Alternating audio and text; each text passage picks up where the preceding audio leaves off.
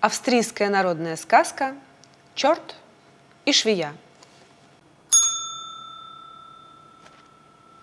Было это давным-давно. Жила тогда на свете бедная швея, такая мастерица, что равной ей днем с огнем не сыщешь. Правда, и цену она себе знала.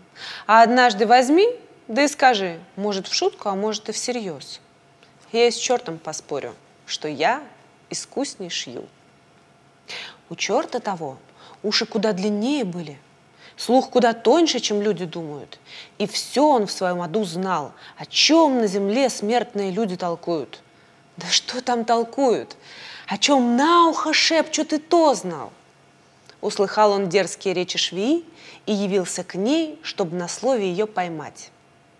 Пришлось швее с чертом поспорить, кто из них рубашку быстрее сошьет – и если швея проспорит, придется ей черту душу отдать. Начали они рубашку кроить, и никто друг друга не обогнал. А как дело до шитья дошло, не пожелал черт ни одной минуточки даром терять. Продел он нитку от целой катушки в иголку, и вот нитка у него длинная-предлинная получилась. Забыл черт, что в народе говорят, на длинной нитке только слепых водить. Чтобы один стежок сделать, приходилось черту три раза вокруг дома оббежать. Швея же нитку как надо в дело и тут же шить начала. Шьет, шьет, шьет, шьет, глаз не поднимает. Шила она рубашку, любо-дорого глядеть.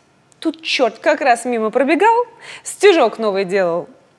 Кинула ему швея готовую рубашку, а он-то до сих пор даже рукава не сшил.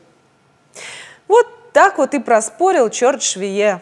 С тех пор никому слышать не доводилось, чтобы черт еще хоть раз какой-нибудь швеей поспорил. Вот так и повелось. Если кто работать не умеет, о нем в тех краях говорят.